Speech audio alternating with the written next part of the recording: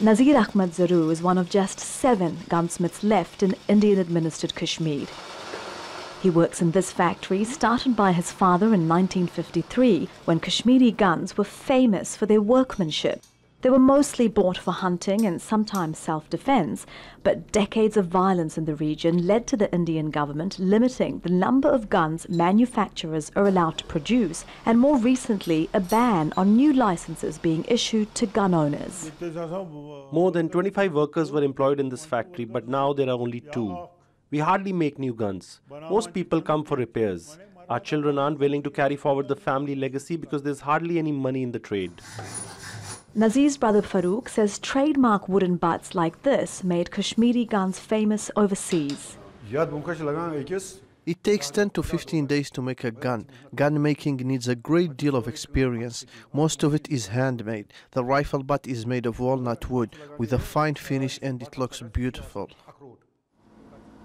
Historians say the once thriving industry has become another casualty of the worsening security in the region. Due to uncertain situation here, gun makers have come under tremendous scrutiny.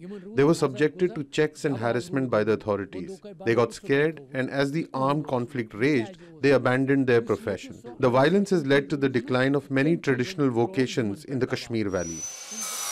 Shaukat Ahmed is one of hundreds of workers who have lost their jobs. He now makes electrical equipment for a living.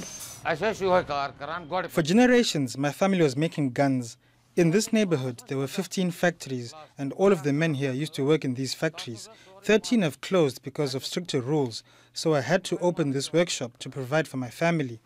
Gun making is in my blood, and it will never die.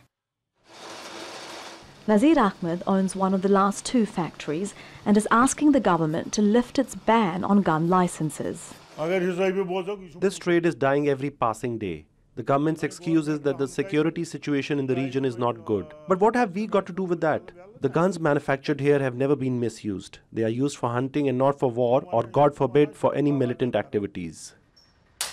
As the Zaru brothers put the finishing touches on their guns, they say they hope they won't become the last of the region's gunsmiths. Elizabeth Puranam, Al Jazeera, New Delhi.